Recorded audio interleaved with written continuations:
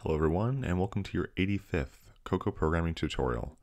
In this tutorial we're going to be talking about save panel and open panel accessory views.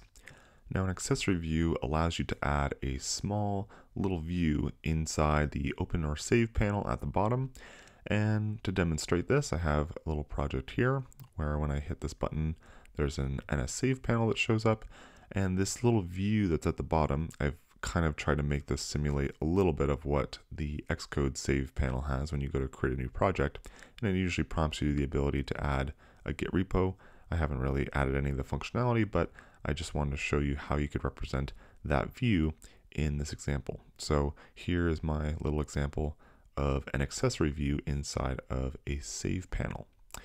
Now, uh, with that out of the way, uh, let's just go ahead and see what I've set up here. So this is a brand new Xcode project.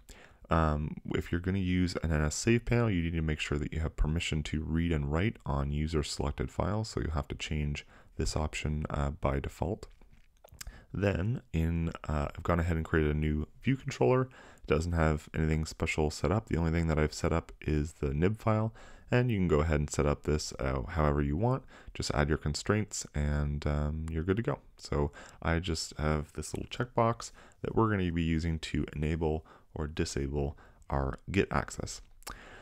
Okay, so uh, how do we set this up inside of a save panel? Pretty easy. You just create a new save panel instance, and then you want to assign the accessory view. Now, the trickiest thing probably about this is that it only accepts, accepts an accessory view. It doesn't accept a view controller. So this kind of leaves you in an awkward state where you have to basically control everything through the view. Uh, you can't really use view controllers. Um, otherwise, you have to do some awkward dance to kind of keep them alive. And so any of the logic that you have through the view kind of has to be done through the view and it can't really be uh, maintained on the accessory view controller unless you want to keep that instance alive somehow. So what we're going to be doing is mostly just uh, using the view as kind of our main tool in this example. All right, so we have this accessory view on the save panel, and then we can just begin a modal sheet with the window uh, that we have in our app delegate. Okay, so how are we going to set this up? Well, inside the accessory view controller, I'm going to basically allow you to generate a view. We're going to give that view back, and this is going to be the main entry point that we're going to use on the accessory view controller. So I'm going to make a static function here, and let's give myself a little bit of space here. So we want a view for panel and we're going to basically configure this out of the gate. So we want to configure it with our initial values and that state that we're going to use, I'm just going to use a bool in this case to represent whether the, the checkbox should be on or off by default. And then we're going to have a callback, which will be whenever a state changes on the accessory view. Now, if you were making a more complex example, uh, perhaps you would want to have a state, uh, maybe a state struct to represent the entire state of um, your panel, as it were. So basically, if you wanted to have more state, I would sort of suggest you come up with a struct or something to represent that. But in this case, we're just going to use a bool here. So we'll have a bool and void, and this is just going to be our callback for when this function changes as a result of the user clicking the checkbox. So I'm going to go ahead and create an accessory VC. And from that, we're just going to get the view.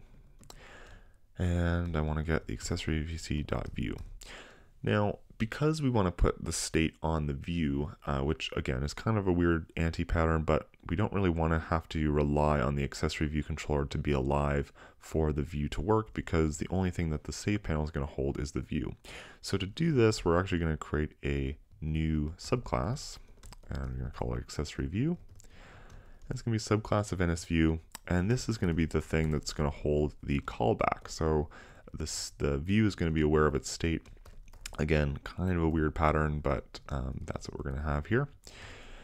And then we're going to uh, have a function to set that up. Now, before I do that, I want to make sure that this view is going to be an accessory view.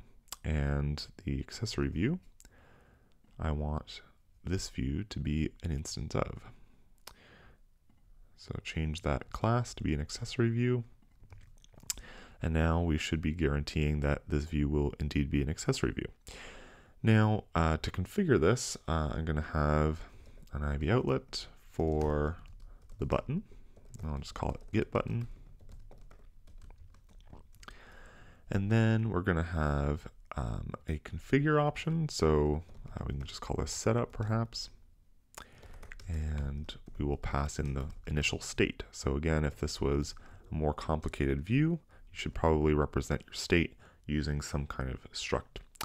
All right, so git enabled, um, that's fine. We're gonna just set the uh, git button and we're gonna set its state to be on or off depending on if git enabled is on or off. So that'll set the on or off switch uh, state of the button. And the last thing I want to do is I want to have an action for when we click the button. So git button pressed. And this is an button. And now when we alter the state of the button, we should also set that state for the callback, right? So we're holding on to the callback that we're going to inject into this uh, view basically initially. And then whenever the view is changing its state, it's going to call the callback a bunch of times. All right, so here we have this git button pressed and we're going to have, um, let's see, when we change the button, so let's get, uh, we can just use the sender, I guess in this case, we'll use the sender state. And if it's equal to on, then we will save that off in a variable and we will call the callback with the new state. All right, so if we had more states in this case, perhaps we had other buttons that we wanted to choose from, basically we could just call this callback with the new generated state of the view. So we're not holding too much state in this accessory view. Really, the only thing that we're truly holding on to is this callback, and that callback is going to kind of act as like a delegate for our um, to call back into the save panel area. But because we don't really have, um, you know, strong references and stuff, we, we could change this to be a delegate and, you know, the view could be a delegate in that case. But I think the callback approach is pretty nice. All right, so now we have this accessory view. Let's go ahead and configure it. So I'll set it up with the initial git enabled state. We'll assign the callback, and then we'll just return the view.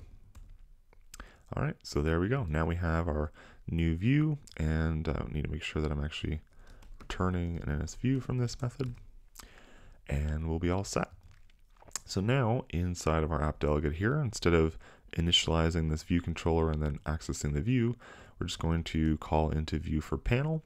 We will set an initial state. So uh, let's just say that the initial state for git enabled is going to be true.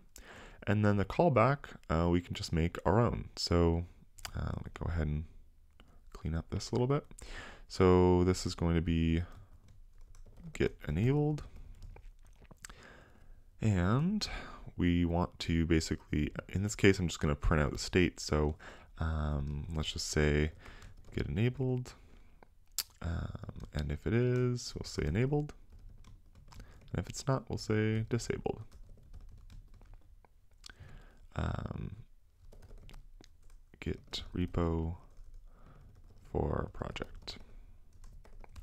All right, so whenever our view changes the state for the uh, git enable button, we're going to call into this callback and we'll get the new state of the button. All right, so that should be pretty much everything we have to go with. And let's go ahead. Uh, actually, the other thing that we need to set up before we do this is our outlets. So we have our accessory view here and the accessory view has an outlet for that button so we can configure it. And then there's also the action which is the git button pressed and we want our button to trigger that action when it gets called. All right I think that's everything so let's go ahead and run that again. Here we go new project. Click on that we have our initial state. We can see that the button is selected uh, is enabled by default. And when I toggle it back and forth, we can see that the button's disabled, the button's enabled, right? And we are always getting the callback for when that state changes. And as a result of those changes, right, we can do whatever we want. All right, uh, let's just show that um, the initial state actually does work and we'll toggle back on our git enabled. Instead of it being true, we'll make it false by default. And let's try to run that again. And we can see that when this is initially set up, our checkbox will be off. And this is good for, you know, cases where your user probably disables Git repositories by default, right? And you'd want to remember that state. So you want to be able to inject the initial state of your view into that view. All right, so anyway, that's everything I have for this tutorial. I hope you guys enjoy. If you enjoyed this video, please subscribe to the channel, give this video a like, and share it with your friends. Ways to contribute and additional information are in the description. I'll see you next week.